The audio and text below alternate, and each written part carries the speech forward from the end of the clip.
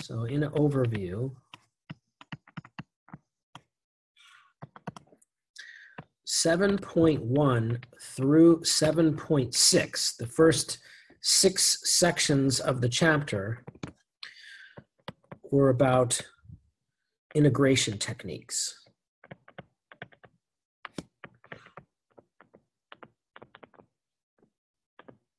And integration techniques, that did not work. Integration techniques is actually the title of the chapter. then 7.7, we skipped it. It was an optional section on numerical integration, which we did not cover and never planned to cover. So therefore, there were no homework assignments on it, and there will be no problems from that section on the midterm. Then in 7.8, we did improper integrals, like where one of the limits of integration is infinity or something like that. And then in 7.9, we figured with a big section with a lot of stuff in it on differential equations. So that's uh, that included what they are, what solutions look like, what an initial condition problem is, direction fields, particular solutions, all kinds of stuff. So that's why there are two additional problems from 7.9 than in the other sections. But if you look, there's six sections in the beginning, then two more sections at the end. That's a total of eight sections. Four problems from each makes 32 problems two extra problems on differential equations gets you to the 34 problems that are in the midterm on Wednesday, so that they're mostly evenly spread with a couple of extra for the last section. So there's an overview. And so the big thing to see is that the first six out of the eight sections, the first 75% of the chapter is just about doing integrals, how to do integrals various integration techniques. And the last couple of sections apply that information to a couple of new topics. Okay, so having stated that uh, overview real quick, let's start to dig in. So 7.1 was labeled as basic approaches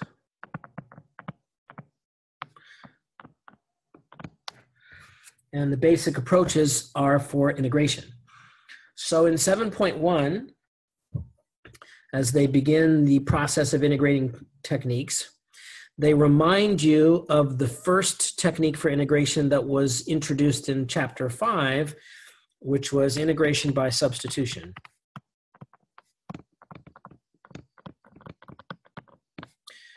And you may recall from the chapter that even as we are using and learning lots of other integration techniques, whether it's trig substitutions or partial fraction decomposition or whatever, it's still very common that you have to do some sort of integration by substitution, either to help with a constant or to set up the problem.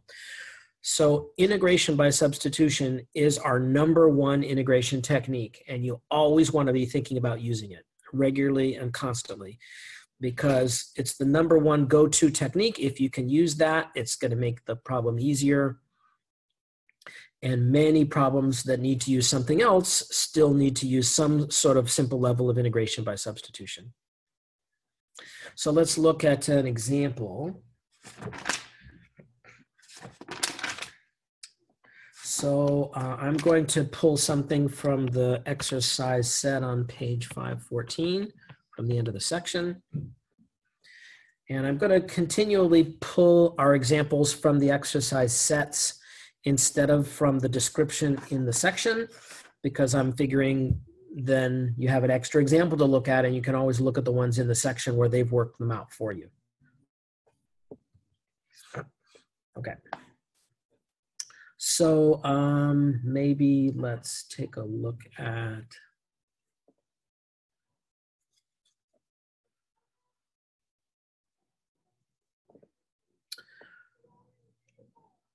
I'm going to look at number 12. So it has an integral from negative 5 to 0 of 1 over the square root of 4 minus x.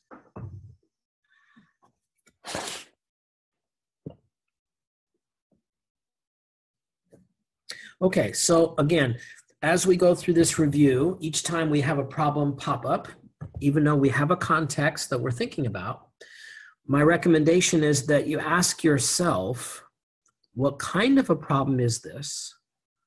What is the goal of the problem?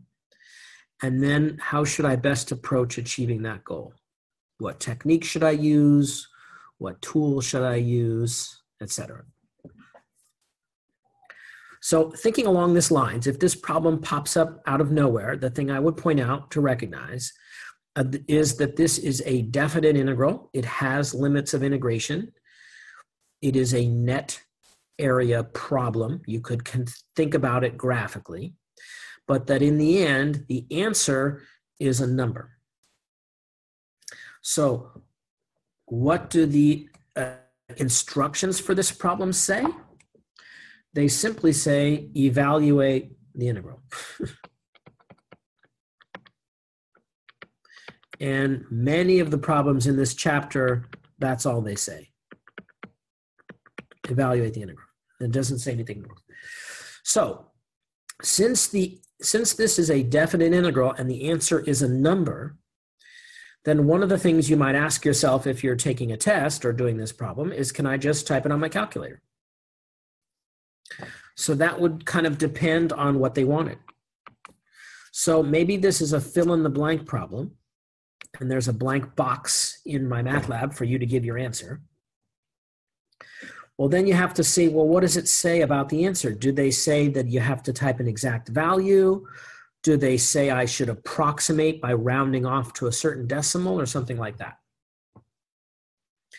If it said round your answer off to three decimals, that means that you can do this problem numerically. And it might even be a suggestion that you should do this problem numerically because maybe doing it analytically or algebraically is a lot more work or is hard to do.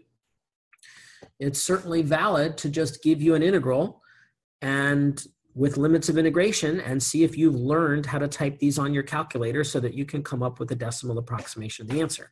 That's a skill we want every student to have that's a skill that I'd like you to consider using if you think it will get you the credit on a problem on your midterm. Now, if it says that they want you to put in the exact value, that's usually a suggestion that you're probably going to need to do this by hand analytically because the answer has got some square root or something like that.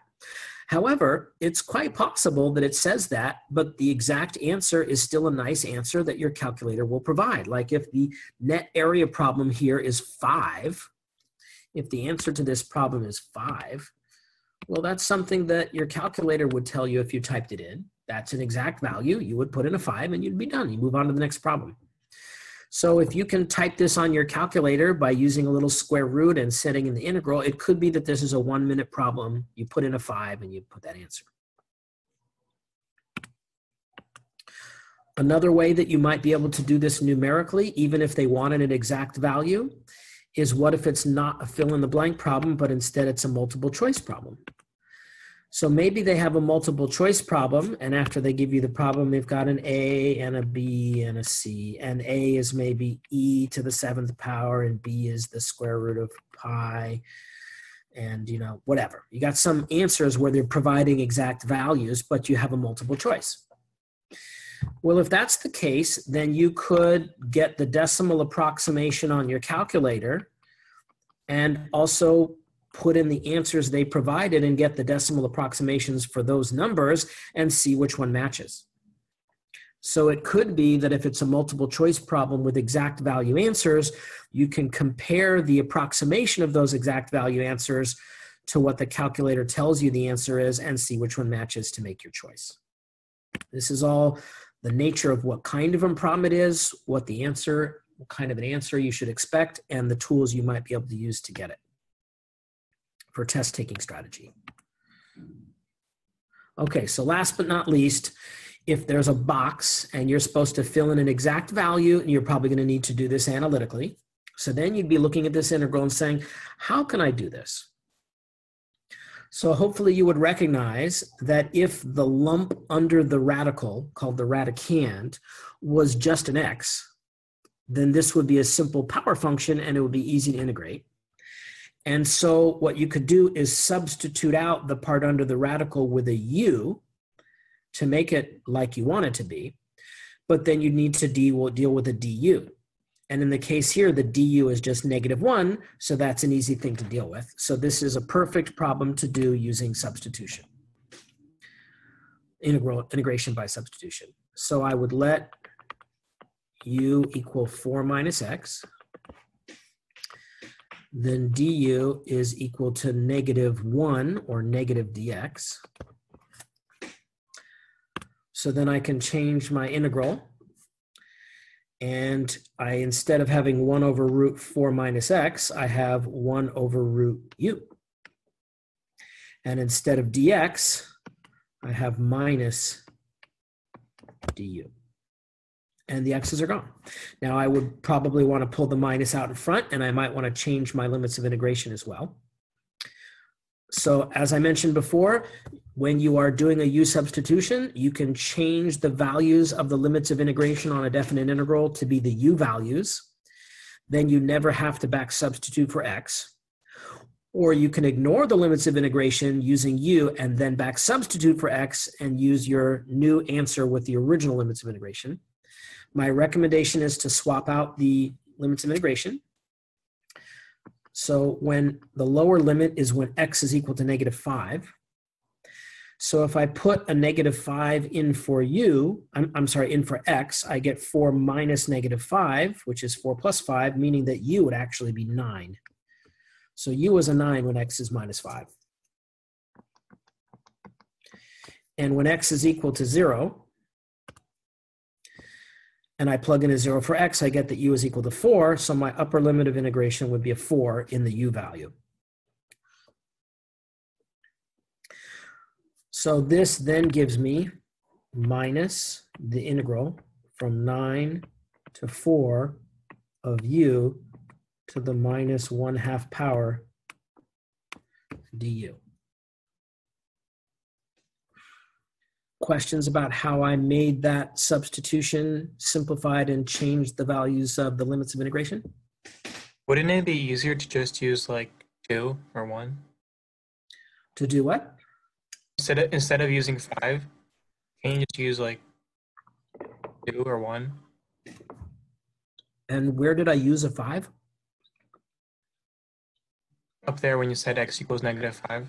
Oh, so the negative five came in the problem. That was the original limit of integration of the problem. So what do you mean oh, by? I didn't. I didn't write that down. Yeah. So the original problem is in black. It was the integral from negative five to zero of that function. And so I had to take the negative five, but I was able to change it into a u value of nine. Is it making sense now, or do I need? Yeah, yeah. I just didn't see that part. Okay, no problem. Other questions at all about how we got to this point?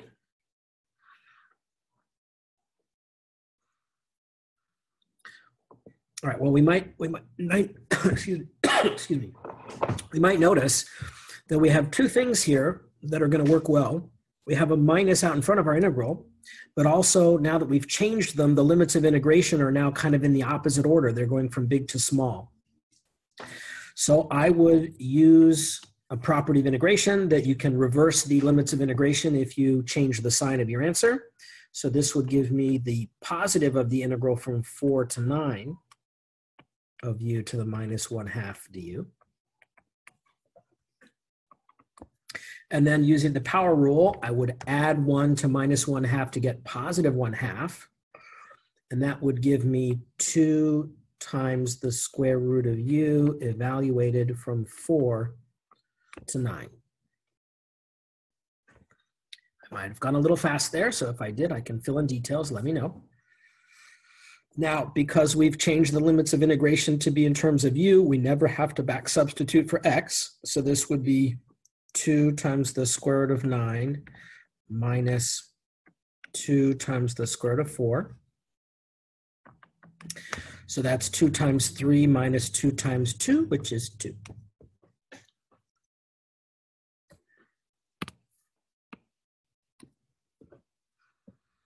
Questions at all about this example problem from the book that's integration by substitution? How did I get 2 in front of rad u? Okay, uh, yeah, so this, good question. Definitely skipped a detail there. So I got that. I was just running out of room. I apologize for jumping a step there. So when you use the power rule, I would be using u to the 1 half divided by 1 half. You add 1 to the power to get the new power, but then you have to divide by that new power. And dividing by 1 half is the same as multiplying by 2. Does that make sense, Nassim?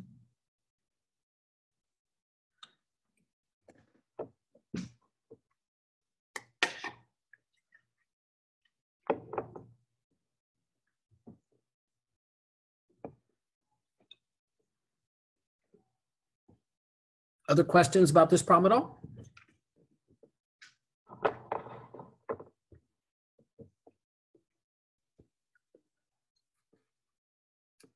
Okay. So integration by substitution can be simpler than this. It can be more complicated than this. This was a little good example where we did a substitution. We even changed limits of integration because it was a definite integral. Now, if I did not have a definite integral and I just had a, a indefinite integral, then the goal would be to get a family of functions and then I wouldn't have any limits of integration to change. I would have to back substitute in terms of x. But if you actually have a number as your answer, not a family of functions, then you can get that number using new limits of integration reflecting the new variable. Okay, let's clear this. So we'll probably do some more integration by substitution as we look at other problems because as I said, this method of integration keeps coming up again and again and again. So in the meantime, let's move on to the next section in our review.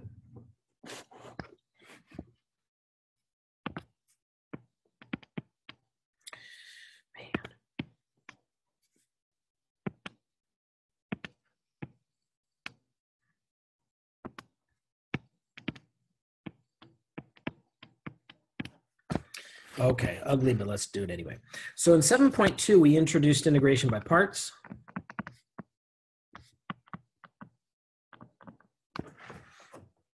So as I mentioned before, integration by substitution is kind of like reversing the chain rule. And integration by parts is kind of like reversing the product rule. So there was a formula for that, so let's put that up it said if we have an integral of something which we'll label as u dv, then this will be equivalent to the expression uv minus the integral of v du. So that's the formula for integration by parts.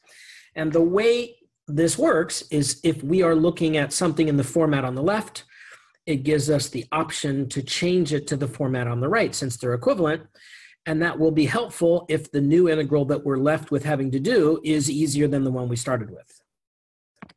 So the thing to notice is that the u factor gets swapped out with a du, meaning its derivative.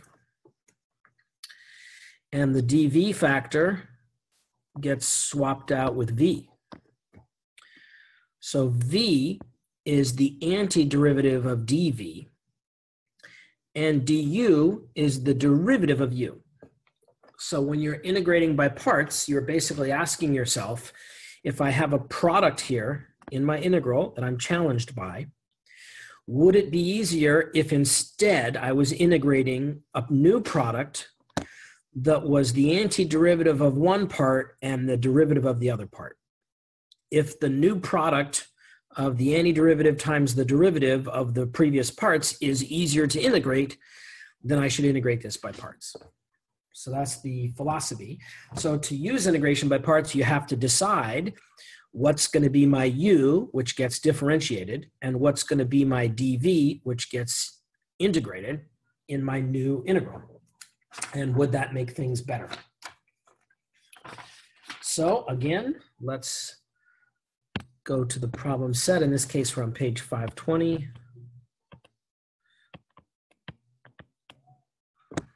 And let's grab something fun from in here. How about lucky number 17, which is integral ln of x, I said x, over x to the 10th dx. Okay, so I'm going to pause for a minute and ask you to become engaged and to think about if this propped up out of the blue and I had no sense of what I was doing in terms of which section I'm supposed to use or something like that, could I look at this and say, what kind of a problem is this? What's the goal of the problem? And then which technique or strategy should I use to achieve that goal? So let me just stay quiet for about a minute and let you think about it. Get your head around the game.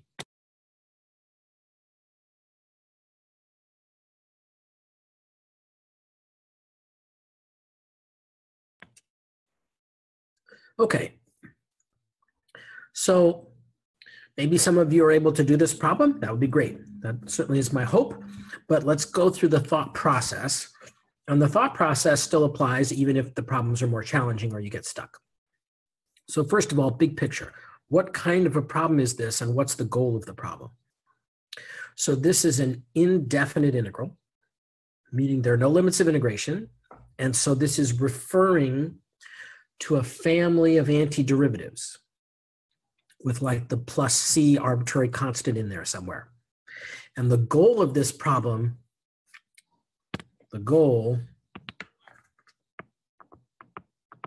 is going to be some function in x plus c, like with an arbitrary constant on the end some family of antiderivatives. So because that's the case, this is definitely not a numerical problem. It's kind of hard to think about this graphically. That's not really helpful. So this is all about analytical and algebraical approaches. So then we sort of think about, well, what technique should I use? The go-to technique is always going to be integration by substitution. But substitution is about compositions of functions, and there's no composition here at all. I could kind of think, well, there's one over x to the 10th, so that kind of could be a composition if I wanted to think of it that way. But the problem is when you do the substitution rule, you need something related to the derivative as a factor. And if x to the 10th is my inside function, I need x to the ninth or something like that somewhere else in any event, it really doesn't seem to look like or naturally go toward um, being integration by substitution. So then the other part is to think about integration by parts. So then you want to think of what product do you have? So the natural product to write is that I have 1 over x to the 10th, and I have the natural log of x. And that if I'm using integration by parts, I would differentiate one of these and integrate the other one and then write my new product in an integral that I'd still have to do. Well, I can differentiate or integrate 1 over 10 to the x, x to the 10th, because it's just a power function. But the ln of x function, if I integrate that, it gets more complicated, and I even have an ln x still. And if I differentiate it, it just becomes 1 over x. So it would suggest to me that if I use parts here, I want ln of x to be the part that is differentiated, which we're referring to as u in the formula above. So that would tell me that to use parts here, I'm going to let u equal ln of x. And let dv equal the rest, 1 over x to the 10th dx. Then if I do that, then du is the derivative of ln of x, which is 1 over x dx. And if dv is x to the minus 10, then v would be the antiderivative of x to the minus 10, which is minus 9 times x to the minus, whoops, I have to put it over, sorry, which is x to the minus 9 over minus 9. Where you add 1 to the power and divide by that new power. Any questions, comments, discussions about how I chose to choose U and DV for my integration by parts?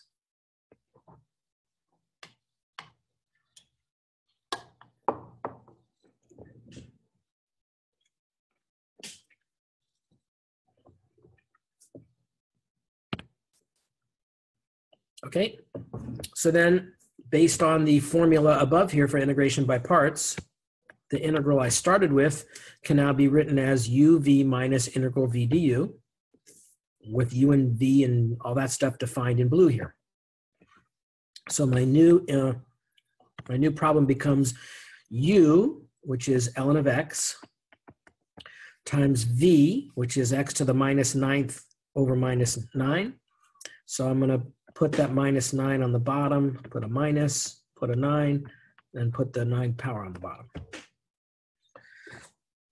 So that is my uv minus the integral of v, which again is 1 over 9x to the ninth with a negative. That's v times du, which is 1 over x dx. So that's my substituting into the formula for integration by parts the parts for U, V, and DU. Questions about that?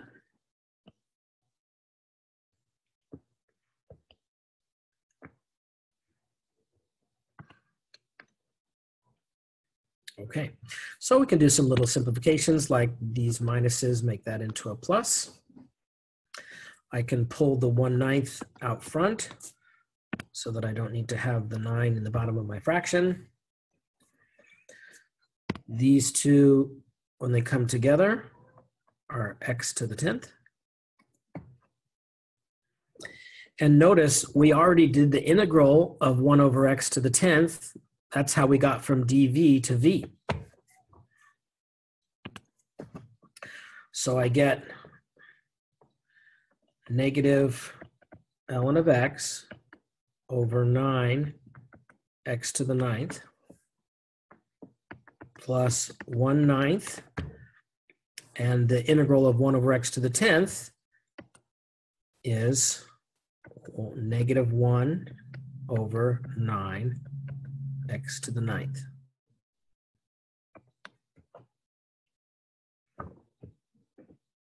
So I'm going to simplify this a little bit and tack a c on it. I'm kind of at the end of my paper here.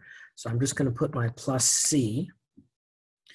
And then of course I could move the minus sign out front and multiply those two nines together. So let me just show that I would do that. I'd put a minus here, and then I would combine these together to just put an 81 in the bottom of that fraction. And then I'd be done. so this was, uh, which one was this? Lucky number 17 from the book. Any questions about that at all? And this example of using integration by parts?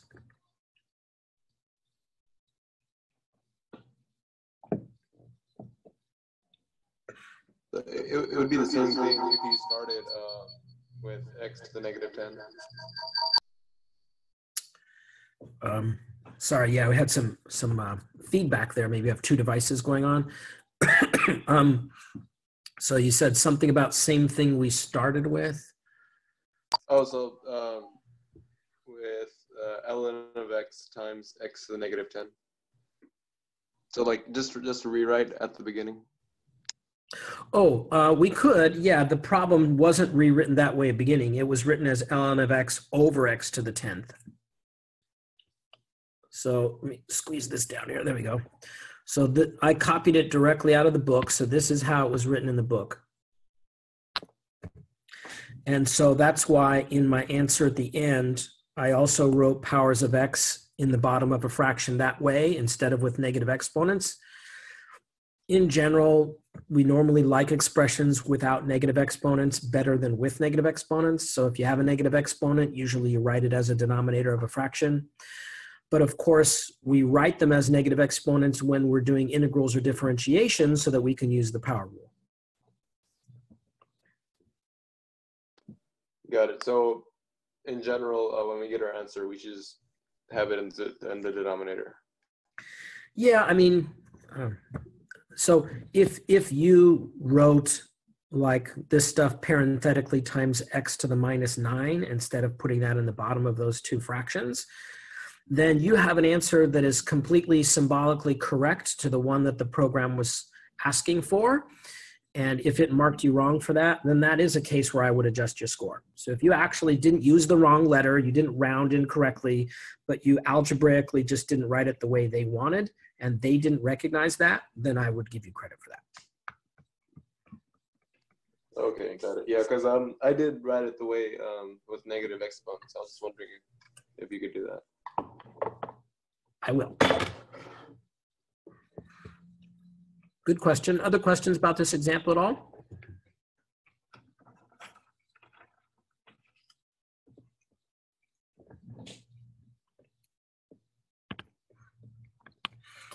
I should have double checked just to make sure somebody didn't have a specific question they wanted to ask. So did somebody come to class with a question about 7-1 or 7-2 that they wanted to ask about?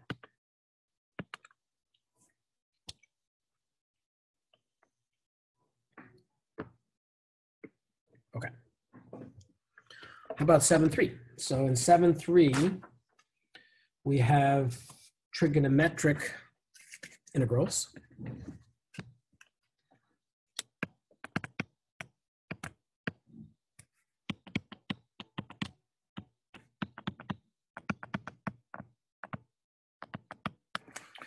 Pen is spotty today.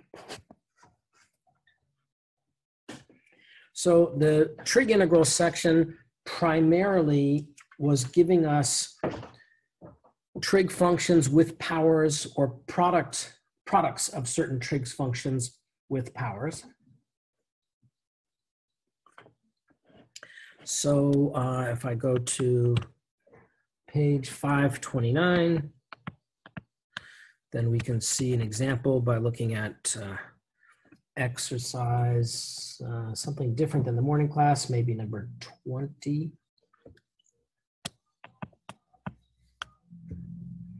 And again, the instructions are evaluate the integral. And it gives us an integral of sine cubed cosine to the minus 2. Sine cubed theta cosine to the minus 2 theta d theta. Come on, you can do it.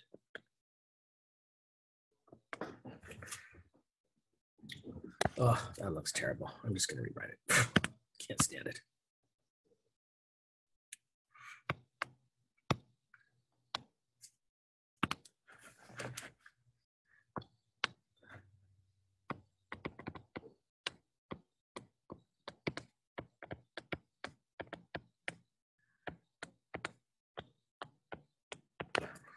A little better. Yeah, that's the problem. Okay, so this is number 20. So again, imagine that you've got a bunch of problems you're working on and this one just pops up as something to do. Take 60 seconds and try to think about big question. What kind of a problem is this? What's the goal of the problem? And what strategy or tactic might I use to do it?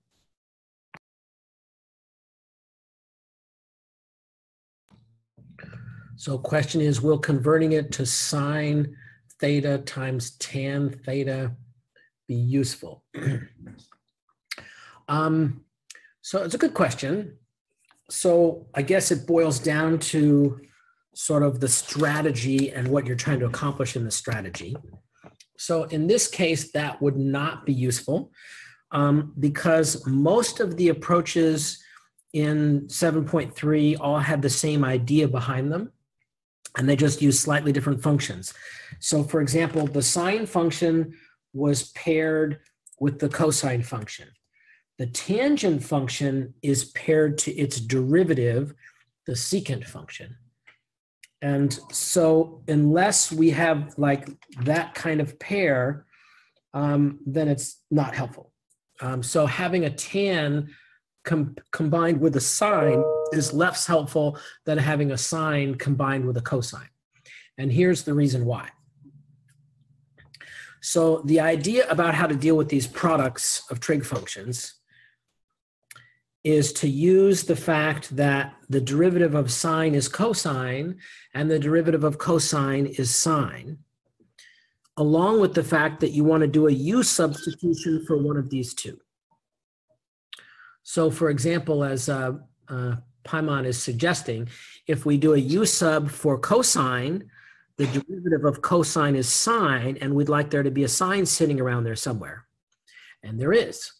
If we did a u sub of sine, the derivative is cosine, and I would like there to be a cosine sitting around somewhere.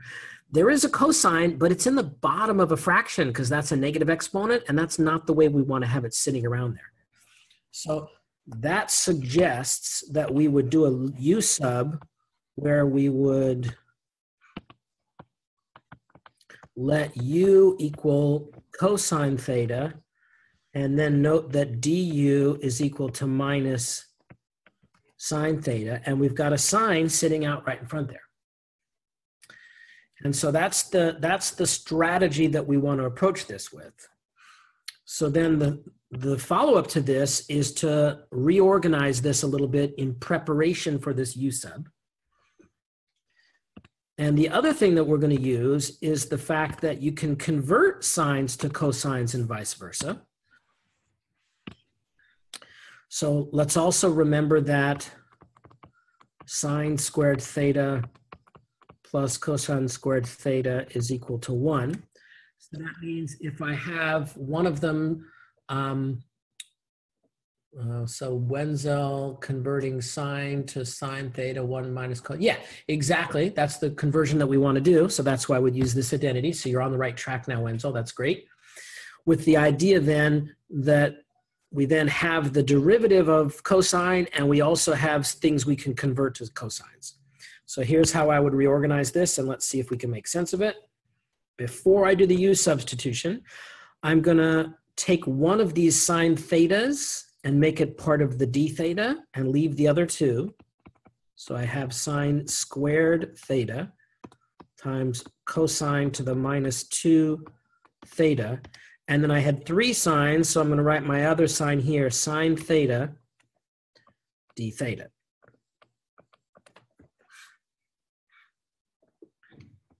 So if I do that, then what I'm noticing is, is that these sine squareds can use this identity to convert them into cosines because sine squared theta converts to 1 minus cosine squared theta. And that sine theta d theta is du if I make my u substitution. So that's the structure, that's the plan. So let me pause there and see if people can make sense of that because at this point, you would be basically if you had if you're able to see all this you've conquered the problem and then now you know what to do.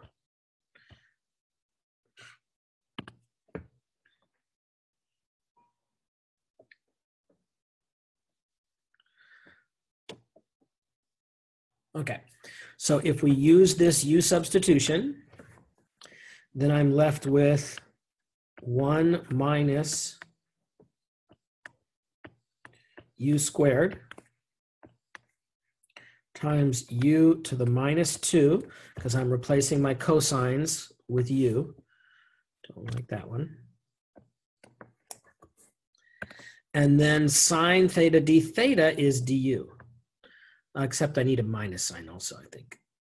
So let me say that that's minus du. And so then I'm going to put du and put my minus sign out here.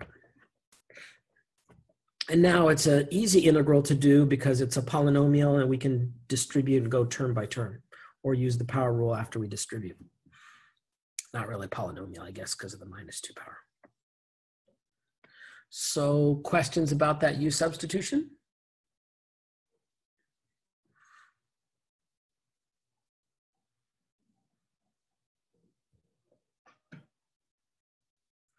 Okay, so I am going to use the minus to change the order of the difference and I'm going to distribute.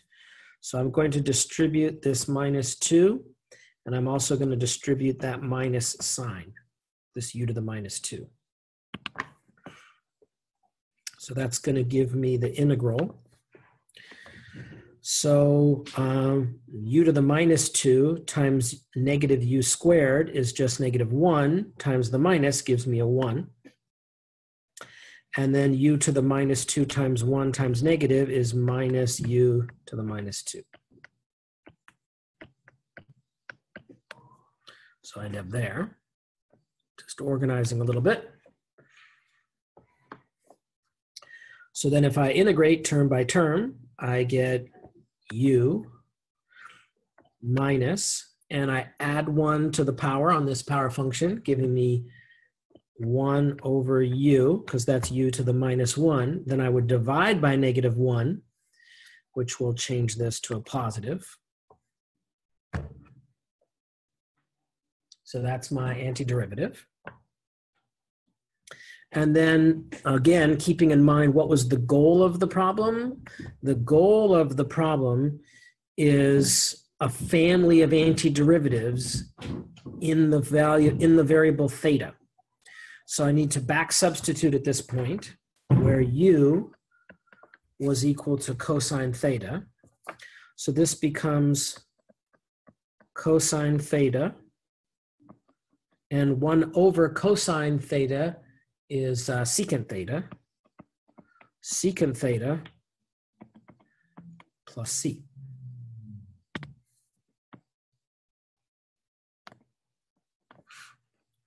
Questions, comments, discussions about this example of a trig integral problem?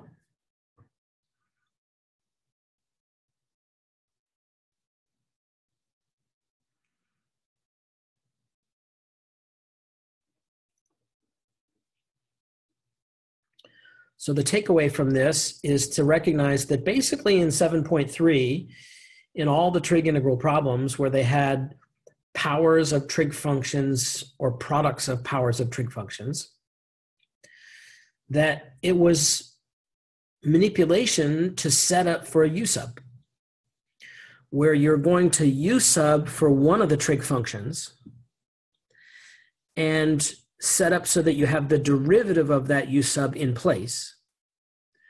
And then anything else that's not the trig function you're u subbing for, you want to convert to the trig function you're u subbing for. So in this case, we did a u sub for cosine.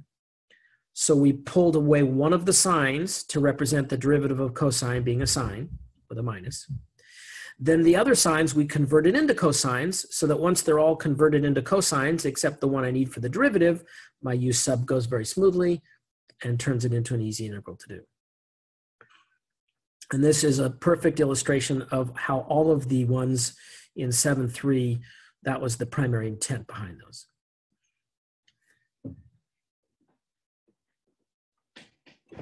Questions uh, about this at all before we move on?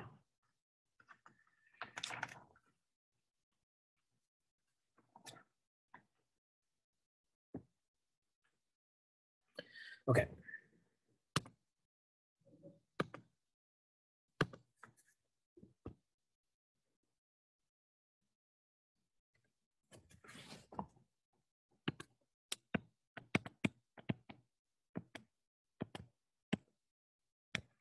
So in 7.4, we did trig substitutions.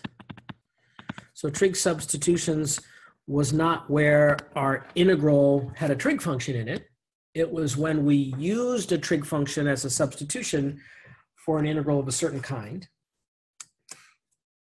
And the things that we're substituting for are summaried in a table. So let me put that up here. I would recommend th- imagine referring to this. See table 7.4 on page 533 to uh, guide sort of which trig sub you use and how to use it.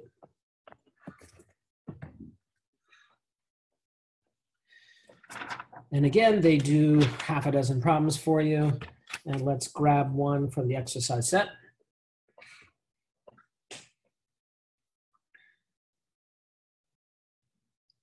So mm, maybe, I don't know. Let's try 15. So those are on page 537. Number 15. So again, the instructions are evaluate the following integral. so we have an integral, and number 15 has the radical of 9 minus x squared over x dx. So again, imagine you are doing some math problems and this one just pops up out of the blue and you want to sort of think about, all right, what kind of a problem is this? What's the goal of the problem and how should I try to achieve that goal? I'll take a, uh, uh, I'll mute myself for 60 seconds to give you a chance to try to mentally think about what you would do here.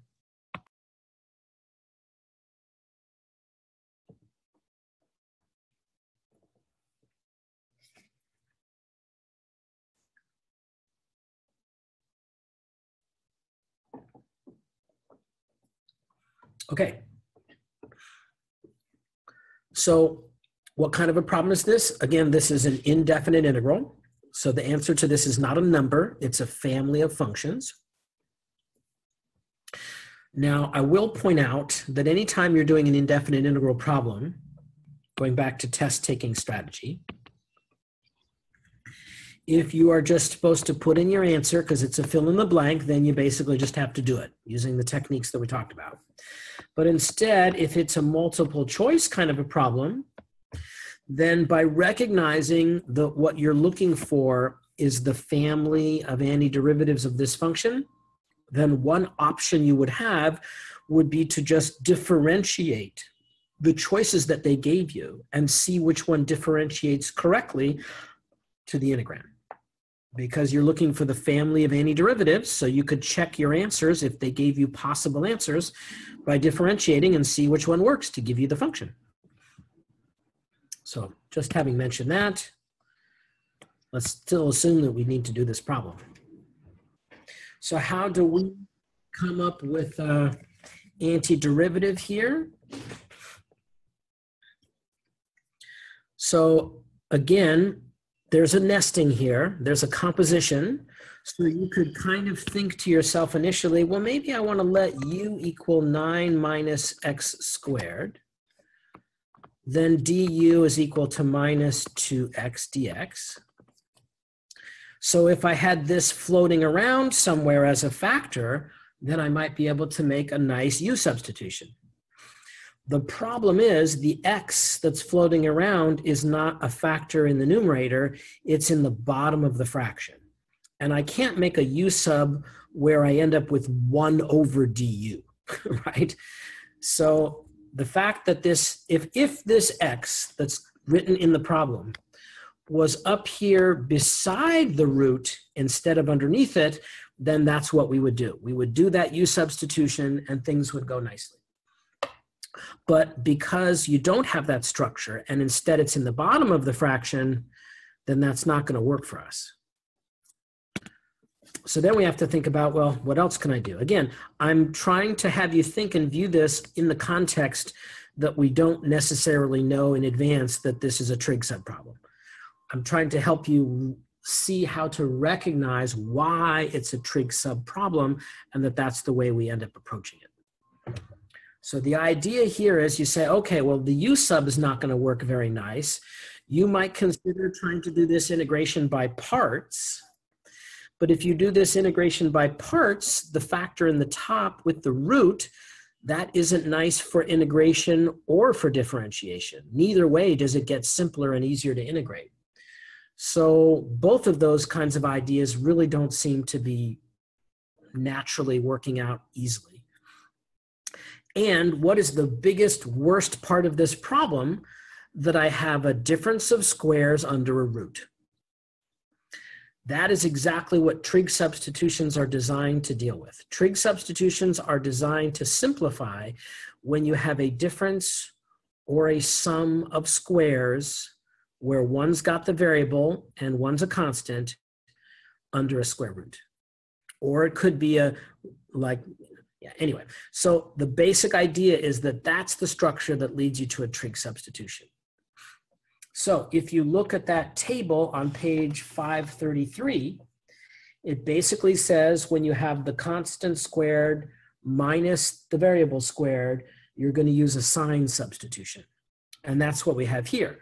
If you had a sum of squares, you'd use a tan substitution. And if you have the variable squared minus the constant squared, you'd use a secant substitution. So that's why I say if you use that table, it'll give you some guidance. So basically here, using the table, this would suggest that the constant squared is 9. So that means the a value is equal to 3. And we want to make the substitution that x is equal to 3 sine theta. a sine theta, where a is a 3. It also says that we're going to want to use an identity, and it tells us which one, the identity that in this case, a squared minus a squared times sine squared theta, and I ran out of space, is equal to a squared times cosine squared theta. So that the reason this is helpful is that if we let x be 3 sine theta, then 9 minus x squared becomes 9 minus 9 sine squared theta, and we can replace all of that with 9 cosine squared theta, and then we can apply the square root and make the root go away. So all the trig substitutions are designed to get rid of this complexity up here by replacing a difference or sum of squares under a root with a simple square, perfect square of a trig function so that the square root cancels the square of the trig function and simplifies. Okay, so if I make that substitution, then I get the integral, and I get 9 minus 3 sine theta squared, because I'm replacing x with 3 sine, and it's squared, divided by x, so that's 3 sine theta.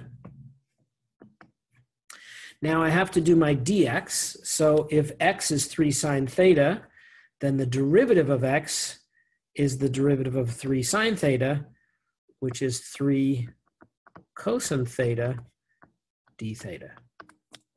Probably should have written that in blue here. So let's do this. Instead of having my identity here, let's take that out. So then if x is that, then dx is equal to 3 cosine theta d theta. So then using the identity, this difference of squares in here becomes the square root of 9 cosine squared theta over 3 sine theta times 3 cosine theta d theta. So let's pause there and see if there are questions about how we chose and applied that particular trig sub before we see what we can do with it.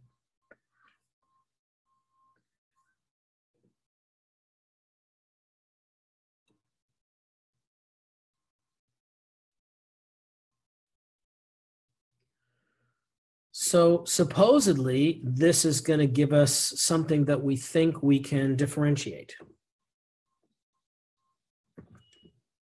So first of all, the square root of 9 cosine theta, squared theta is can be reduced to 3 cosine theta.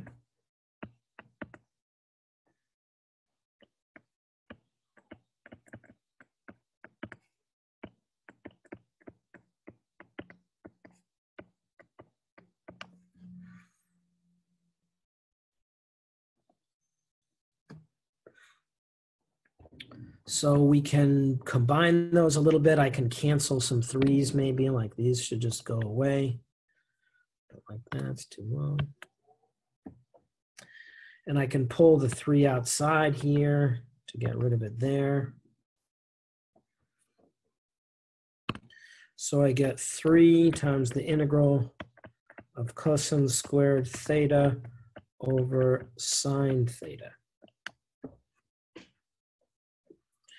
Don't like it.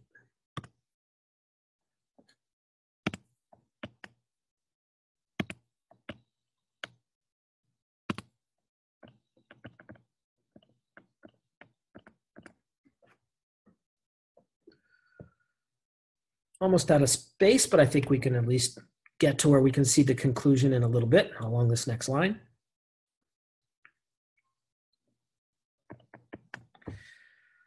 So, well, there's lots, a couple of ways we can do that. I'll just do what comes to my mind. So I would see this as one minus sine squared theta over sine theta with a three out front. And that's three times the integral. Uh,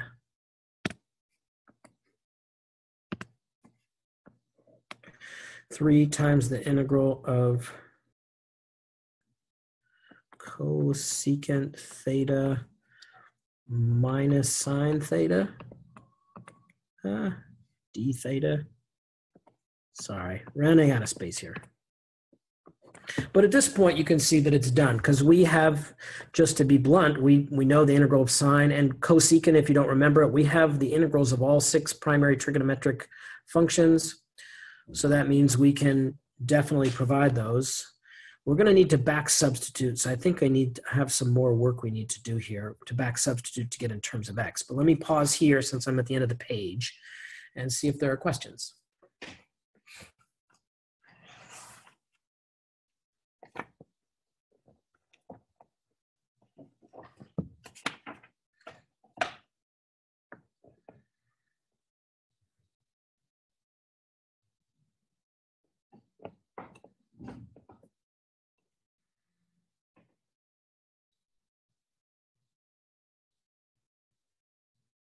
No questions at all?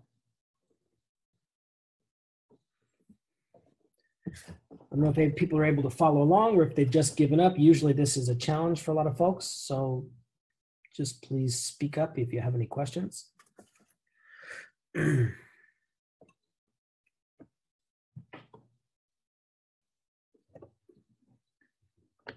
All right, let's see. Maybe I should try to stay on this page a little bit. So let's erase some of this so I can transfer up.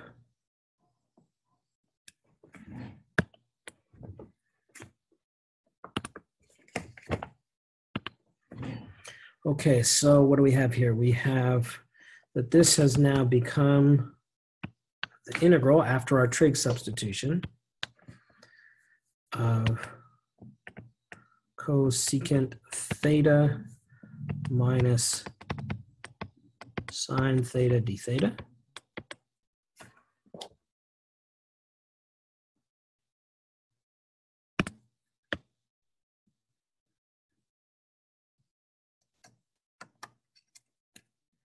Okay.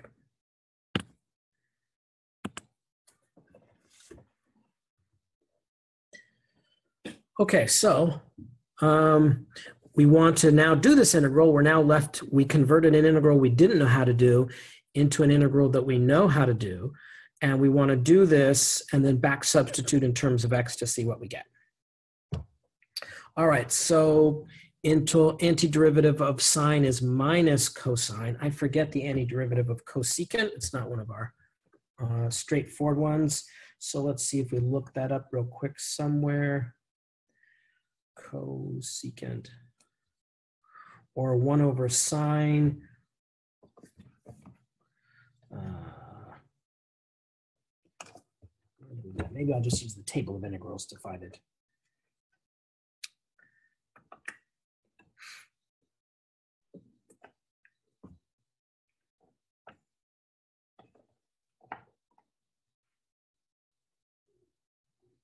Really, all the way down to number 56, huh?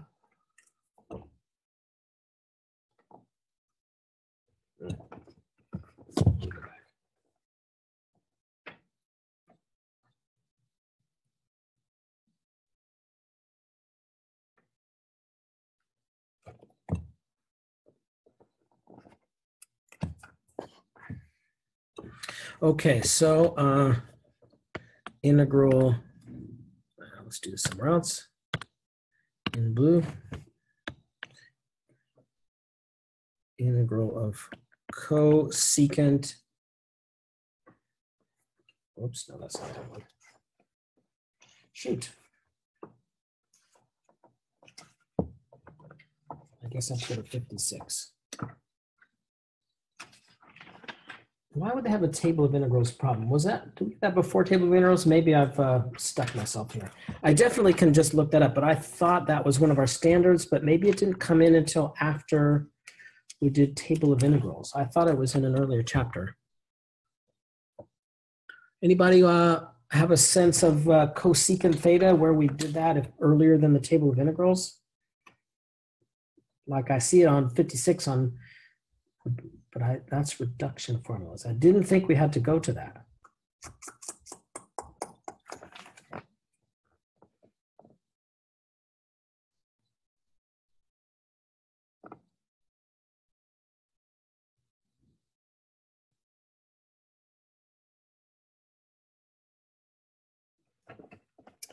It's somewhere.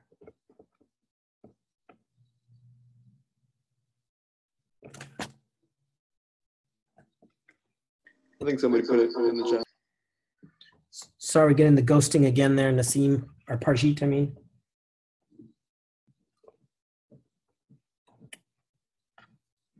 Sorry, I think somebody put it in the chat. Oh yeah, there it is. Yeah, and I just wanted to look it up. So it's it was somewhere. I think it was in chapter five later. I forget, but it's number. It's really early because it's number eight on the table of integrals. So let me just add that in too. But I I, I don't. I just didn't want to have to look it up on the table of integrals because I know we we we we really focus on using the table of integrals in seven point five in the next or in seven six. And so I was trying to find the place where they did it before. So was that chapter five? Anyway, they lump it together on the table of integrals in the very first first dozen integrals. Um, and I thought there should have been someplace before then. But uh, yeah, Winslow's got the right one. So it's uh, ln absolute value, not friendly. But that's what happens when I just grab one problem from the section set.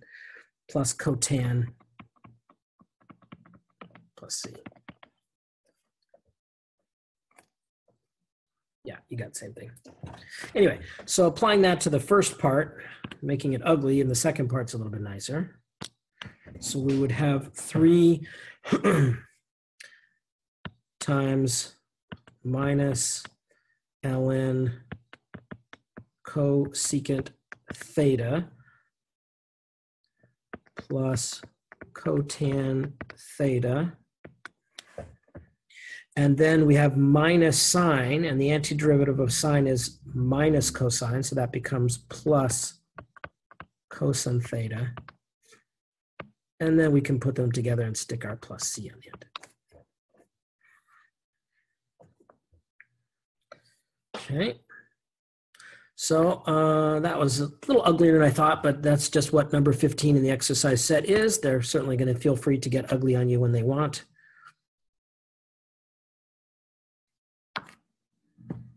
questions about that um, integral, how we now finish the integral? Actually, let's save the plus c until we back substitute for x. So I'm going to take off the plus c. Oh yeah, of course, we definitely have to convert back to x as Pyman is pointing out. So that's why I put on my plus c a little bit too early here. And that's why I wanted a fresh page for the next part of the problem. But so the thing to notice at this point is the integration is done. So you don't, you're not integrating anymore. You got an integral that you could do from an integral that you couldn't do. And now we have to back substitute for x because we can't change limits of integration because this is not a definite integral. This isn't a number. It's a family of functions and those functions need to be in terms of x. And so we're going to use the fact that x is equal to 3 sine theta to mean that if I want to plug back in in terms of theta, that theta is equal to inverse sine of x over 3. So that becomes negative 3, the natural log of cosecant sine inverse of x over 3 plus cotangent. I said cotan.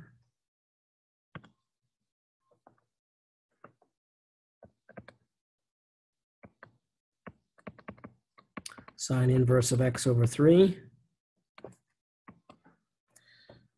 Running out of space plus cosine of sine inverse of x over 3.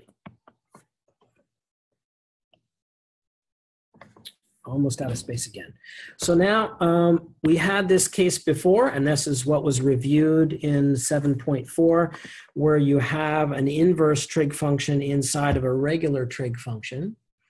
And to deal with that, I usually did it by drawing a little right triangle and say, all right, so keep in mind sine inverse of x over 3 is the theta that we replaced, right? It's these thetas here. So that theta is in a right triangle. And what do we know about that theta? We know that when you take the sine of that theta, you get x over 3. Because that theta is inverse sine of x over 3. Sine of an angle is opposite over hypotenuse. So that means we need a triangle where the opposite over the hypotenuse ratio becomes x over 3. So we put the x here and the 3 here. So if we have the x there and the 3 there, then the missing side is the square root of 9 minus x squared. Again, a squared plus b squared equals c squared. So that means that this missing side, I have to take the square of the hypotenuse, subtract the square of the other side, and take the square root. So all of these thetas, or the theta that's in all of these arguments, is the theta in this right triangle here. So that means that I can take the, uh, the cosecant or the cotangent or the cosine of that theta and get the x values in this triangle here. So let's see if I can squeeze this in here. That would be minus 3 times the natural log of the absolute value. So cosecant is 1 over sine. So 1 over sine is, um, well, actually, sine of that would just be x over 3. So 1 over sine would be 3 over x. Or you can think of it that in this triangle, sine of theta was x over 3. So if I flip that, I get 3 over x.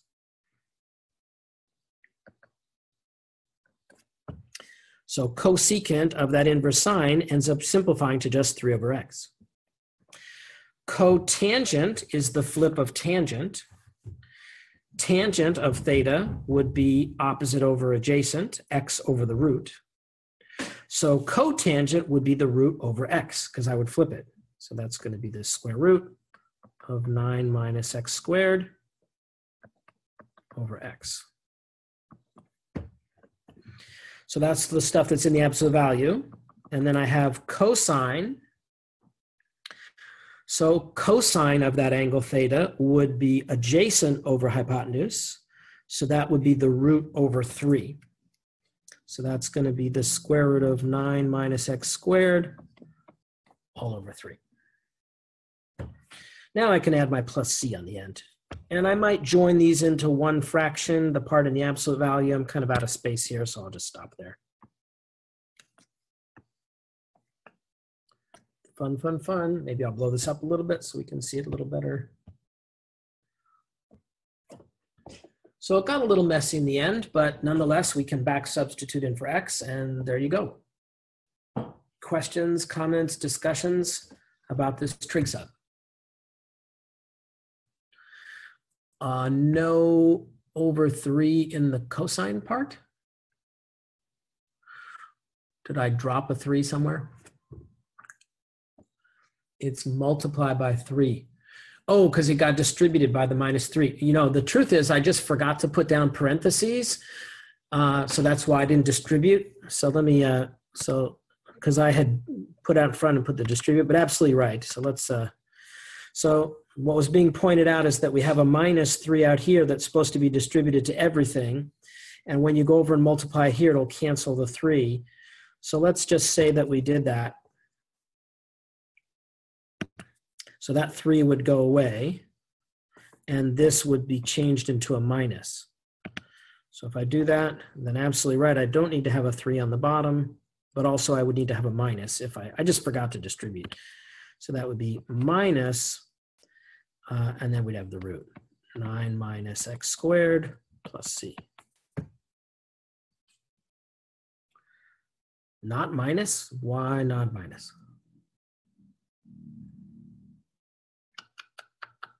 Oh, the minus is only on the log. Catching all my mistakes. Perfect. Thank you. That's exactly right. So I had a minus here that was not here. So the original mistake was I put the minus on the 3 here. The 3 would be distributed to the cosine, but I didn't distribute it and I didn't put the minus. So that means that here there would be a positive 3 over here. And that means that when I got down here, that would be a plus. Thanks for keeping me honest there, Wenzel. Getting a little messy and I'm running out of space, but absolutely right. Thank you.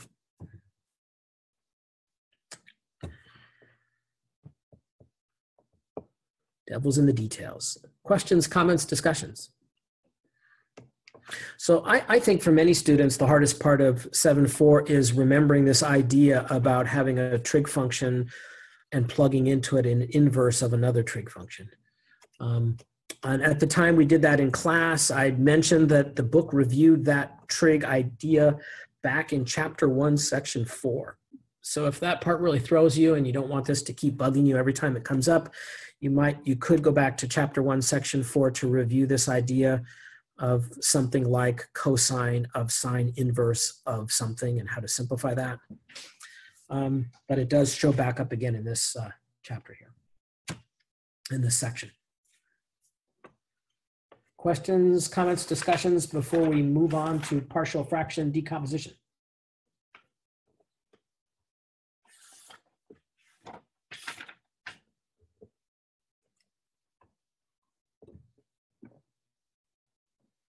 All right, we're kind of halfway through the chapter at this point, and we are about halfway through the class, so seems to be survivable.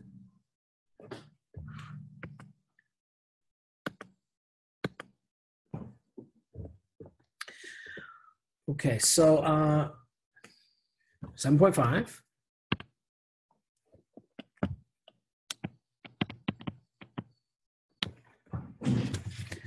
Had partial fraction decomposition.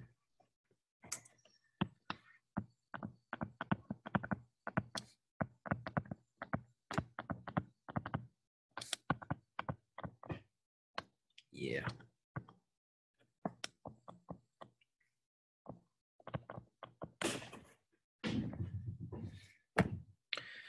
pen is not working well today. Okay, so what was uh, partial fraction decomposition designed to help us with? Basically just integrals of rational functions.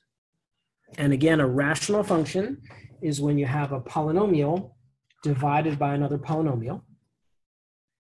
And the big idea was something like we have an integral of a, an f of x over a g of x dx. I'm just sort of writing out some thoughts with the idea real quick, and I'm going to erase this. And that instead we want to rewrite this as an integral of some collection of fractions added together, maybe a, b, and c over linear factors. So, you know, maybe 3x plus 7, x minus 9, x plus 2, or something like that. So the idea behind this is, is that if we could take a fraction of polynomials and break it into smaller fractions where each denominator was of a lower, simpler degree, hopefully linear, then we would be able to integrate in a much more direct way. So that's the idea of partial fraction decomposition. Whoops, but let's, uh, eraser. Let's put that with a specific example so that we can see it in action. But that's what you want to think about going in so that that motivates your work. Okay. So um, again, I'll try to put up a, an example from the problem set, which is on page 549. I kind of like that highlighter thing. I should use that more, but oh now. There we go. Color. Uh, 549. And let's see, maybe something 30% of the way through of the difficulty.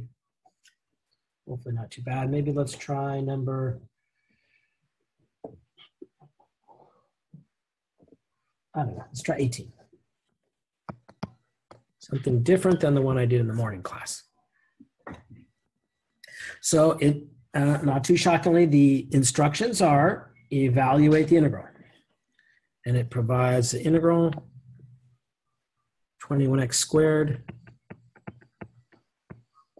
divided by x cubed minus x squared minus 12x.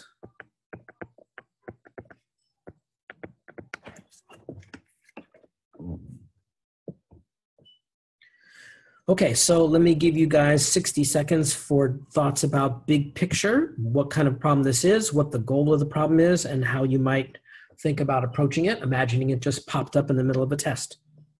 So I'll mute for 60 seconds so I can shut up. Okay, so um, the big picture issue is to first recognize that this is an indefinite integral, which means that the goal of the problem is a family of antiderivatives. And that means that it's a formula, it's not a number, and it's not really helpful to think about it graphically. So then when we look at the kind of integral problem it is, we can see right away that the integrand is a rational function. So with a rational function, we pretty much immediately go to partial fraction decomposition. The idea being that unless, well, here's an exception.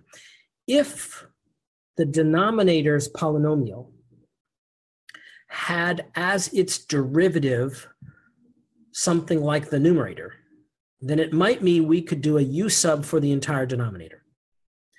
Um, that's not very common. Basically, the numerator has to be some sort of a multiple of the derivative of the denominator for that to work. Uh, and usually we're just doing a partial fraction decomposition. So in order to do a partial fraction decomposition and figure out what the denominators of our smaller fractions will be, we need to factor out the denominator here. So I can take out an x, which would leave me with x squared minus x minus 12.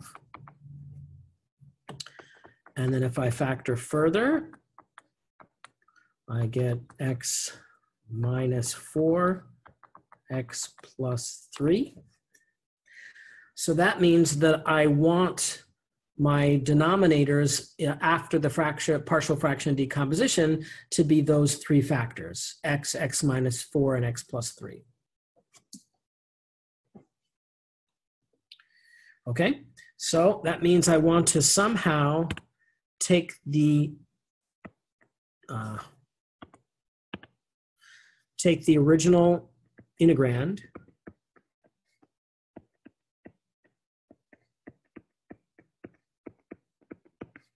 and convert it into three fractions where there's something over x plus something over x minus 4 plus something over x plus 3.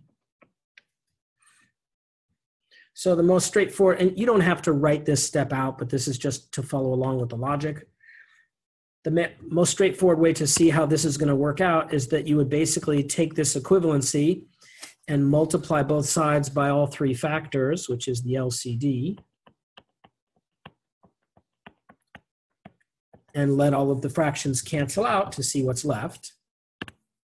So for these two things to be equal, that means that 21x squared has to be equal to a times the factors that are not in its denominator, x minus 4 times x plus 3, plus b times x times x plus 3 plus c times x times x minus 4. So those have to be equivalent. If I can find a and b and c in which those are equivalent, then I can break my original fraction of polynomials into this partial fraction decomposition.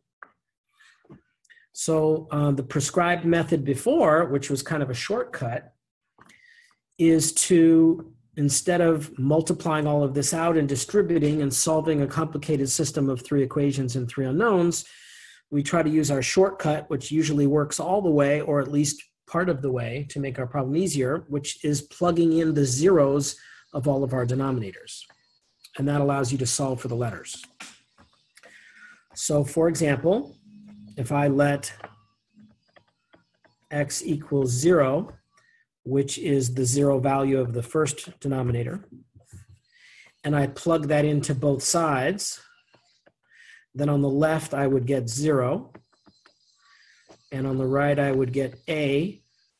Zero minus four is minus four. Zero plus three is three. But then I would get b and since I'm plugging in a zero and x is a factor, I would get b times zero. And similarly, I would get c times zero. So this would mean that negative 12a is equal to zero, which means that a has to equal zero. That's kind of surprising. Let's see if I put it up here.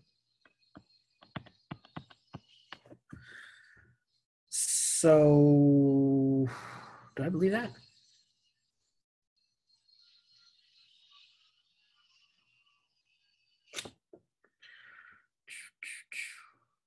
I guess I have to believe that. Hmm.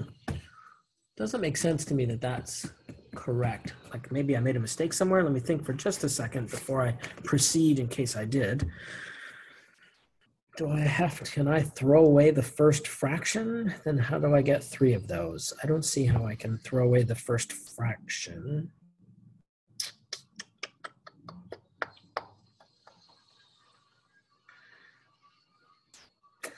I see why I can throw away the first fraction. I could have simplified this whole fraction before I even started. Because x is a factor of the bottom and x is a factor of the top of the original fraction, and so that means I could have simplified. So yes, that means A should be zero and it came out right. So I'm now able to trust my work again because I just didn't simplify in the beginning and that's why this became a little bit more complicated than it needed to. So what I'm pointing out here, just for those who want to follow along with what I was talking about, I could have taken this factor of X in the bottom over here and canceled it out with one of the factors of X in the top because X is a factor of the top. And that's why that factor is not needed. And when I throw this fraction away, things will work. So this will be equivalent. So uh, yeah, anyway. So having pointed that out, I'm going to say that A should be zero. And let's now look at the next letter. So A is equal to zero, because I didn't even need that for first fraction. So now looking at the second one, when X is a four, if I let X equal four, then um, the first and last factors will cancel out, and that'll allow me to solve for b. So I would have 21 times 4 squared. So 21 times 16, which is what? 210 plus 126, like 336 or something? So I would get 336 is equal to 0 because the a minus 4 factor gets canceled out, plus b times 4 times 7, because x plus 3 is 4 plus 3 is 7, and then plus 0 because the third factor cancels out. So then uh, that gives me that 28 times b is 336. So that's 20, uh, 336 divided by 28. 3, 7, 2s over 2, 2, 7. I think that's 12. 336 divided by 28, I think is 12. So if I'm right, then that would give me that b is equal to 12. Taking note of that up top. So then, uh, to solve for the last letter,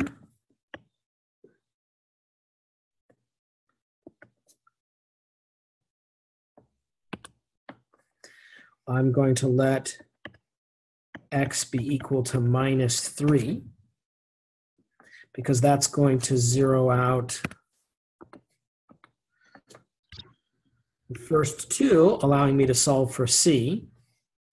And so if x is equal to minus 3, that squared is 9. 9 times 21 is like 189.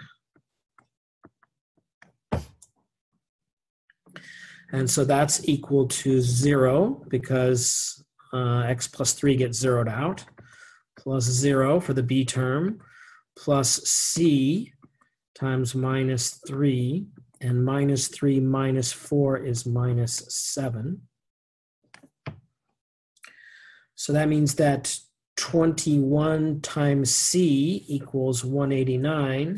So C equals 189 divided by 21. And I think I just got that by multiplying 21 by 9. So that means I should get 9, which means that C equals, um, whoops, just did 21. Yeah, so that, that was both positive, so that C is equal to 9, which I'll put up here. C is equal to 9. Okie dokie. Let the games continue. Okay, so basically what I got here was that if I want to do the integral above, uh, I'm going to let A be 0, B be 12, and C be 9. That means that the original integral can now be the integral of 12 over x minus 4 plus 9 over x plus 3 dx. Now, um, because of the confusion that I didn't in the beginning cancel out an x in the original fraction, if I add these two fractions together, I get 21 over x squared minus x minus 12. I don't get the original fraction exactly. But in the original fraction, I could then multiply that by x over x to get what I started with. So this is equivalent to what I started with. And now this is an integral that we can do because in each case, we would just do a little u sub for the denominator and then um, use a natural log. So the answer would be 12 times the natural log of x minus 4 plus 9 times the natural log of x plus 3 plus c. Questions, comments, discussions about this uh, example, number 18?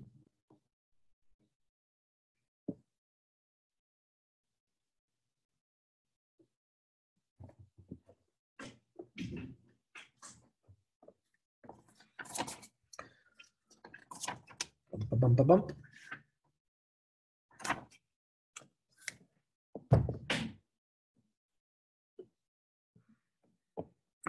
So again, this is about probably 30% up in the way of difficulty of these kinds of problems. There were some simpler ones, there were some more complicated ones. I will point out that they had a nice uh, summary. Um, so let's just point this out. Mm, just make space enough to make a summary. So let me just point out that they have a summary for partial fraction decomposition on page 548, where they sort of walk you through the ideas and the steps. And the way these can get more challenging is if one of the, um, if when you factor out the denominator, they don't all become linear factors like this, that instead one of them is a quadratic that's not reducible, that it doesn't factor. And then you basically set it up the exact same way, but in your numerator, you put ax plus b instead of just a. Um, and anyway, look at the examples that they do as those get a little bit more challenging. But uh, if you look at these rational functions uh, for integral problems and think about frac partial fraction decomposition and start that process, then you're you're on the right road or you're on the, the correct procedure to try to get the problem done successfully. Okay. All right, so let's uh, move on.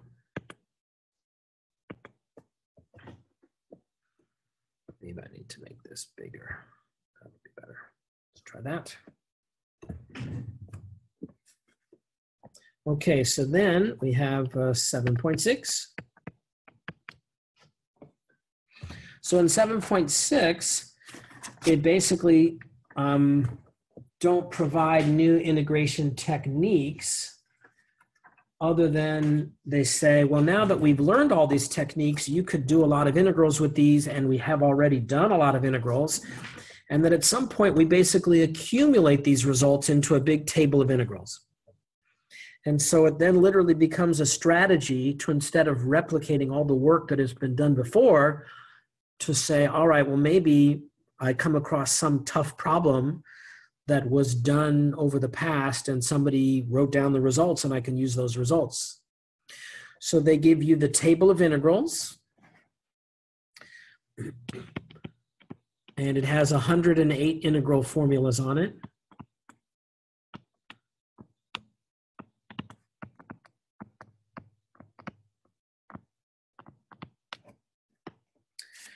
So they give you problems, a lot of which in this section where they'll say, do the integral by using the table, meaning they want you to look up the integral problem on the table so that you can imagine doing that when you get stuck on an integral and trying to use the table.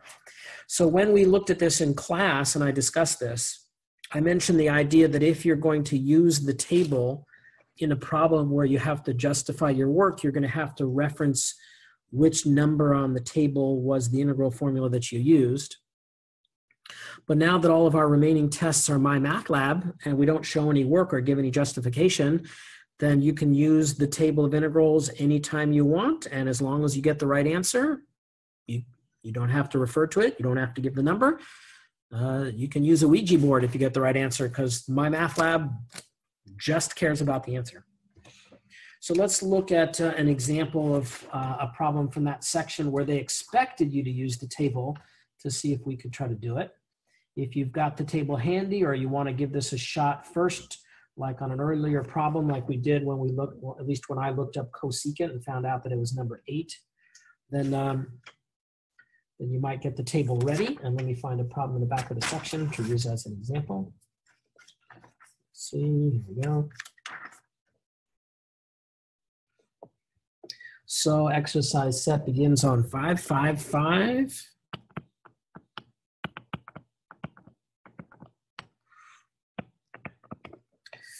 I don't know. Let's see. How about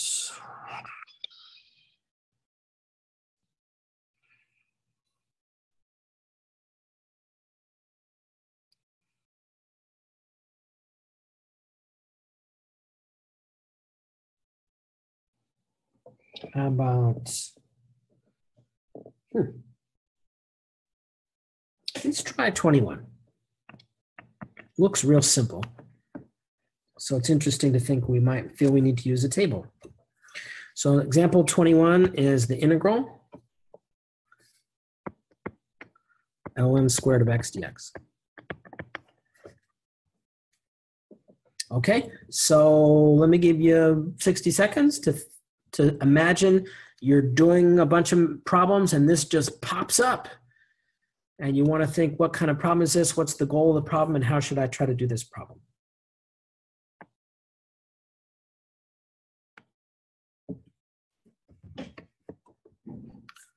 Okay, so if we're looking at this problem and it shows up out of the blue,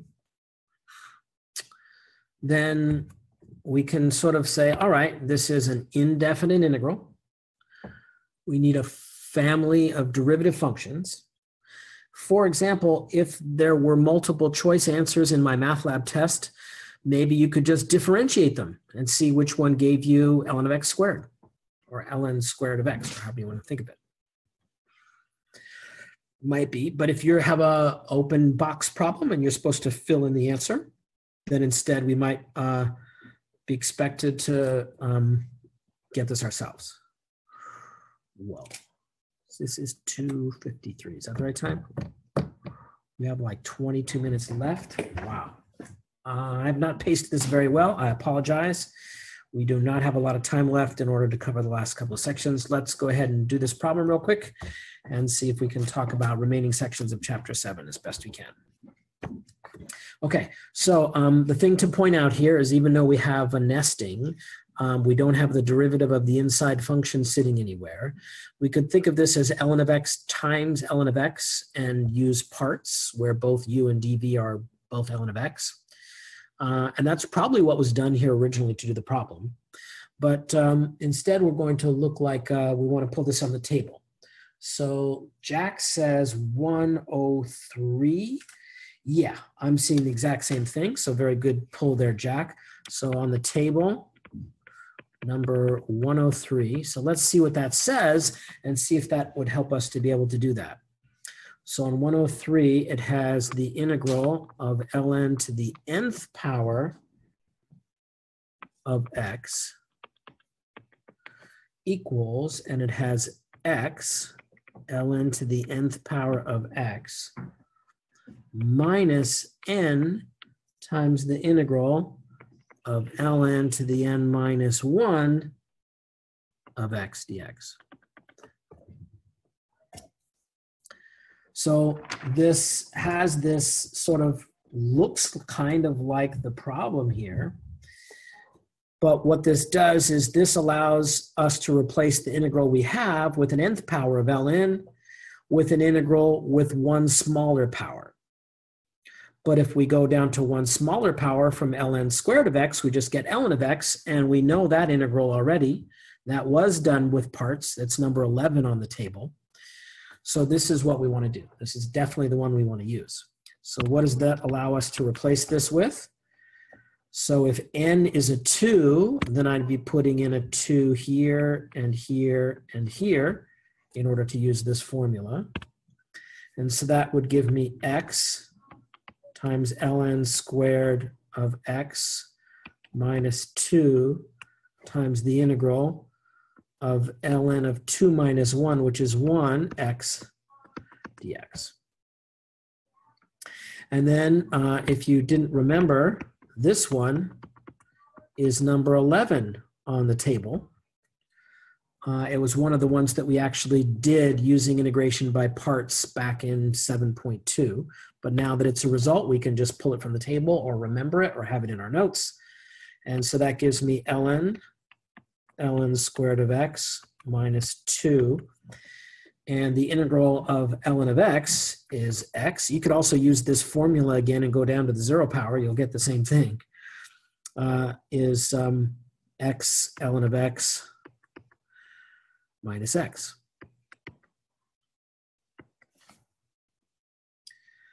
So if we just distribute, so we can simplify a little bit, we have x ln squared or ln of x squared minus 2x ln of x plus, why did it do that? Plus positive 2 times x plus c.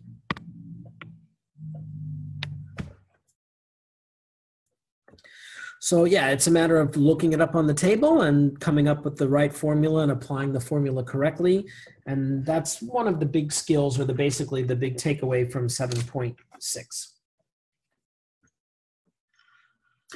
So it looks like we have a little under 20 minutes left. I don't I don't know, maybe we talked about the test a long time in the beginning. I apologize. Somehow I thought we'd have more time, but as I knew it'd be a struggle to get through the chapter, but I thought we would do better than I just have. So let's proceed on with the remaining time and do our best. So happily we skipped 7.7. Um, that was a skipped section of numerical integration, which we never planned to do. 7, 8 we had improper integrals. So let's go to an example right away. Jesus.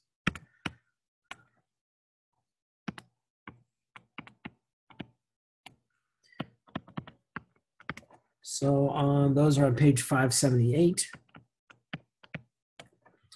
And I think I will take a quick look at the one that I looked at in the earlier class because it's a good illustration of concept. So where the heck was that? 18. So here's the problem. The integral from zero to infinity cosine x dx.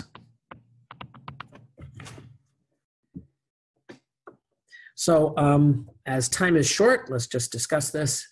So this is an example of an improper integral, in this case because one of the limits of integration is infinity. The other possibility would be that somewhere within the limits of integration, the function is undefined. Um, but in this case, it's obviously undefined at infinity because that's not a number. So conceptually, the idea was that the way we get around this is we just set up a limit where we set the value of that limit of integration to go to infinity. And then we think of it as a normal function with an upper limit that's bound and defined, and then we take the limit. So um, the thing I would point out is that as soon as you have a limit as b goes to infinity of an integral, um, then this becomes a limiting problem and limits may exist or they may not exist. And this is where we first kind of started to think more about the idea of converging or diverging. And so I can, well, let's say we went ahead with this problem um, symbolically. So this would give me the limit as b goes to infinity, and the antiderivative of cosine is just sine. So this is sine of x evaluated from 0 to b, which is the limit as b goes to infinity, sine of b, because sine of 0 is 0. So this is like a chapter 2 problem now. And so you may or may not recall that the sine of b as b goes to infinity just keeps going up and down and up and down and oscillating between 1 and negative 1 but never settles on a value. And the word we use here is we say that this diverges.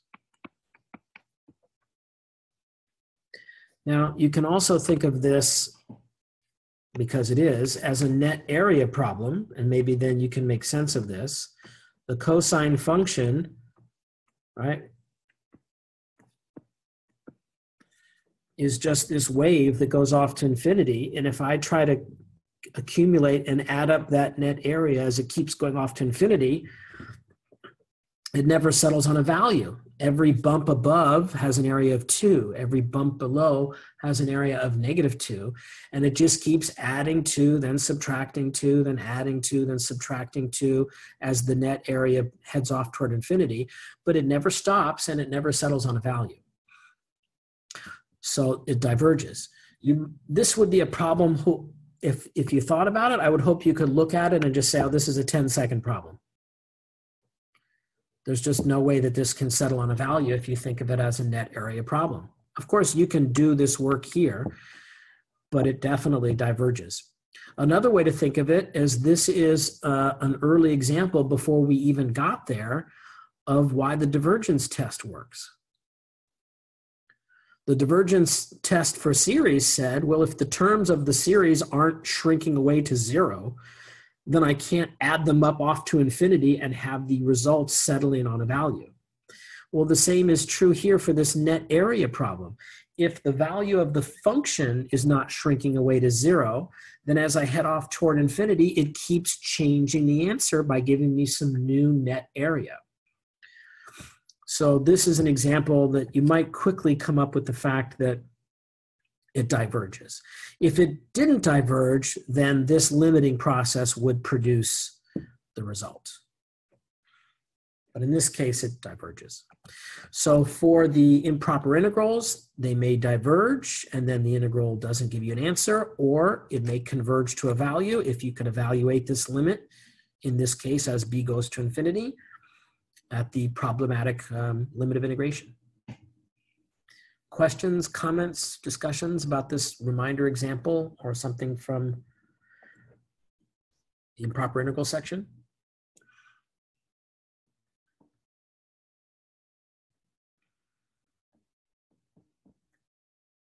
All right, well, thanks to those of you who are still managing to do so for hanging in through this long slog without a break. So we've got about 12 minutes left to look at the longest section in the chapter. Let's see what we can do.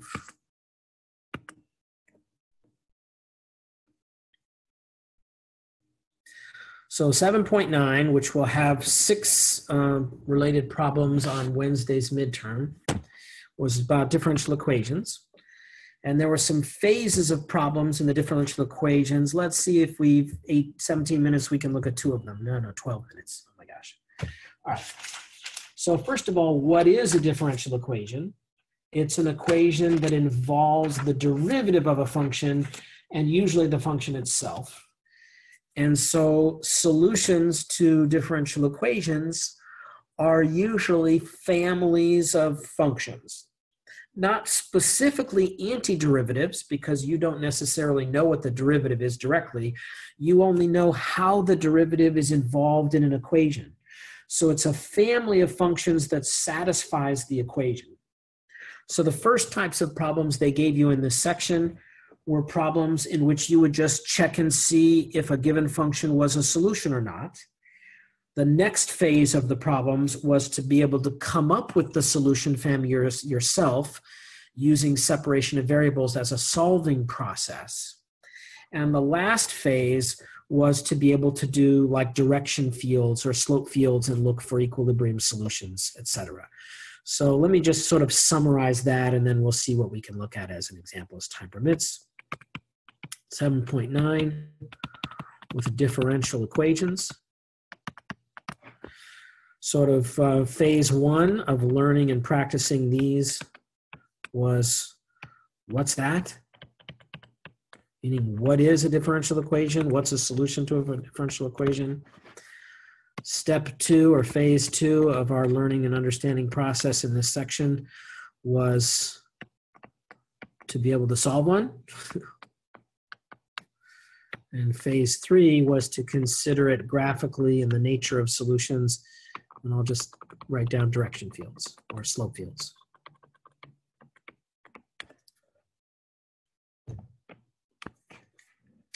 So um, if I'm looking at page 589, example on page 589, what one of these look like.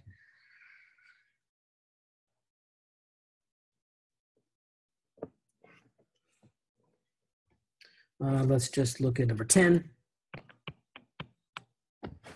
So it said y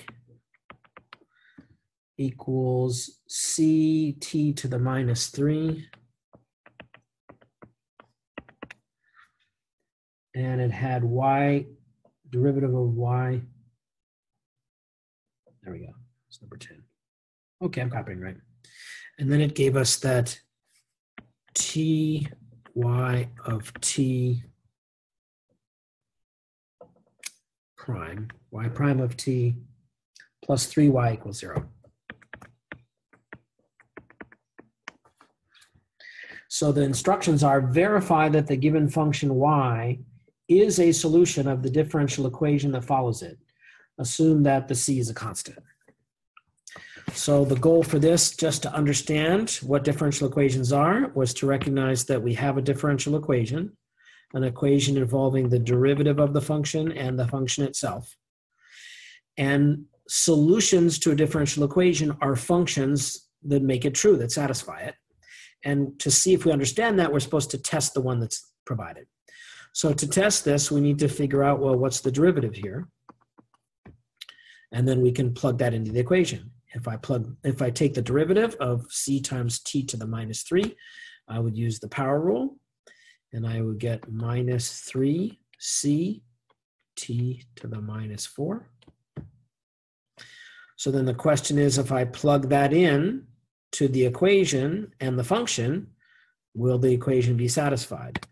So I'm plugging this in for y prime, and I'm plugging this in for y. So if I do that, I get t times the derivative, which is minus 3c t to the minus 4, plus 3 times the function, which is c t to the minus 3. And the question is, do I get 0? So if you see I multiply by t, then the t power reduces, and I do get 0 equals 0. So that's a check. And that's what we were supposed to verify, and it does verify. So that's the idea of a differential equation and an example of just checking that you understand what the differential equation is saying about a function and whether a given function might be solution to that. Now we expect there's a whole family of solutions.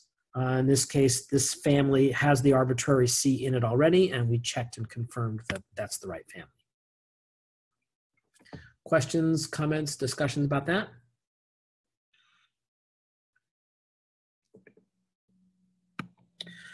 Okay, so next up, if we're looking at sort of being able to actually solve one of these instead of just checking an answer that's already been given to us,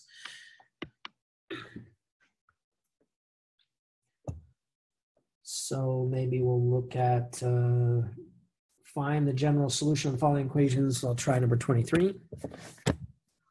So for the middle, we're going to do example or exercise number 23 on the same page. And it has y prime of t is equal to negative 2y minus 4.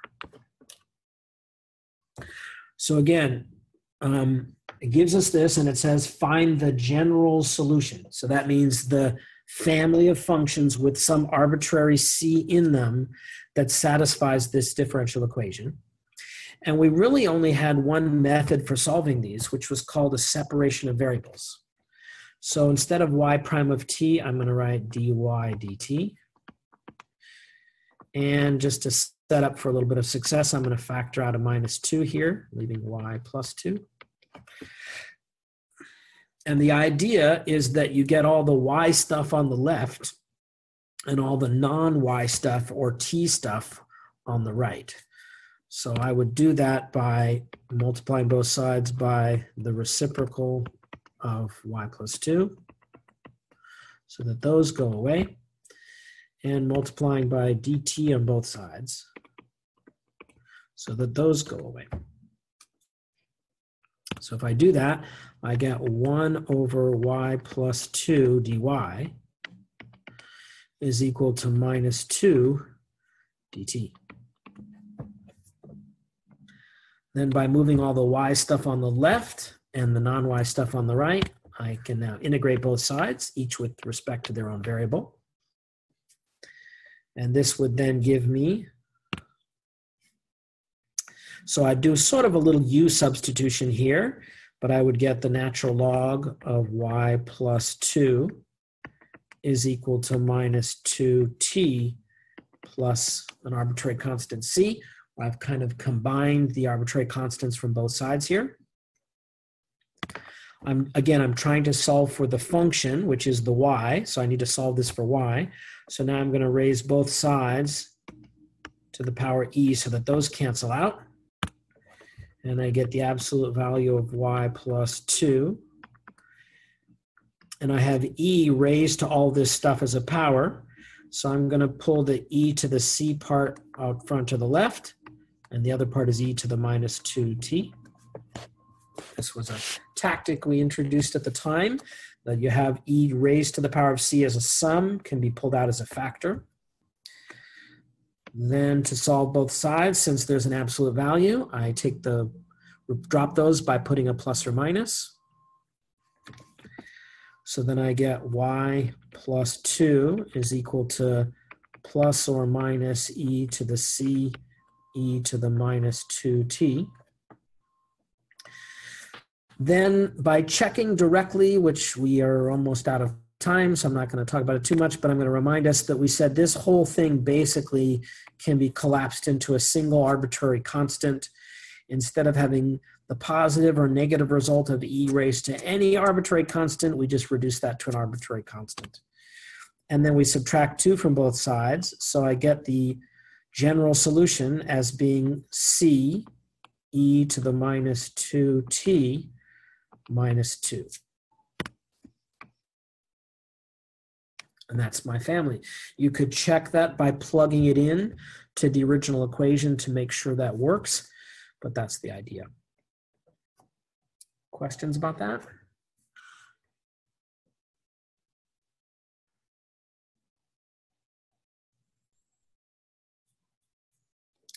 Okay, two minutes for phase three.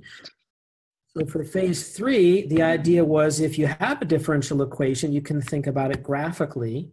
So taking the same differential equation that we have here and thinking about it graphically, we would create what's called a direction field. And the idea behind that is that you imagine a graphing grid and x and y values, or if it's t, t and y values and what the value of the derivative would be if you were at a particular value for t and y. Now, in this case, only y is in the equation, so that means at a particular horizontal height for a y value, all the slope or the direction lines are the same. So for example, um, because this was minus 2 times y plus 2, I can see that when I plug in a negative 2, I get 0. So any point, no doesn't matter what t is, any point where y is equal to negative 2 is going to cause this derivative to be 0. If y is 0, I get minus 4, so I have kind of a steep downhill line. If I have y is negative 1, I still have a downhill line, but not quite as steep. And as soon as y goes below negative 2, like to negative 3, I start getting positive slope values. And the further down I go, the bigger those positive slope values get. And up here I have all negative values. Sorry, this is quick and crappy, but we're down to the last minute. And so this is a direction field. You can enter these into a graphing calculator or a graphing utility, and it'll make these for you. You may recall from our classroom discussion that if you have a place where the derivative gets zeroed out at a particular function value, then that's called an equilibrium solution. We even discussed a little bit the difference between stable and unstable equilibrium solutions. Like in this case, if I'm at a negative 2 and I leave it a little bit, I still have a solution that sends me back to negative 2 on either side. So this is a stable equilibrium solution. Talked about a marble on the bottom of a bowl or the top of a bowl if it's upside down. We had so much fun in class. I miss those days. Anyway, so that's uh, that's sort of how this last section finishes out. Sorry it was so quick, and we are now a minute over, so we will finish here.